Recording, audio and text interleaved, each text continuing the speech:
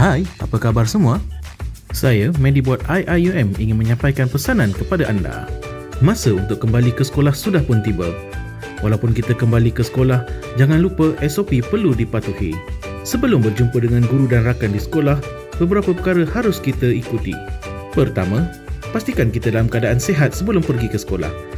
Paling penting, periksa suhu badan dahulu sebelum keluar dari rumah. Jika anda mempunyai sebarang gejala seperti demam, batuk dan sakit tekak, anda dinasihatkan supaya tidak perlu hadir ke sekolah.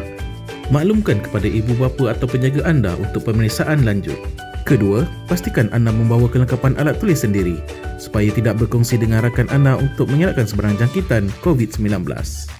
Ketiga, jangan lupa pakai pelitup separuh muka supaya dapat melindungi diri anda dari COVID-19. Keempat, jangan lupa untuk membawa cecair pembersih tangan agar tangan kita sentiasa dalam keadaan bersih. Dan yang kelima, jika anda menaiki bas untuk ke sekolah, pastikan ada penjarakan di dalam bas, duduk berasingan dan sentiasa memakai pelitup separuh muka.